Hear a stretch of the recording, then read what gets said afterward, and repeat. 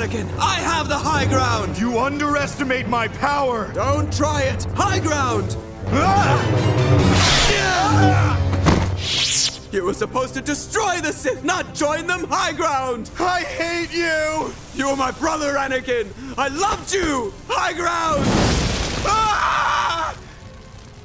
I'm gonna grab that there. High ground.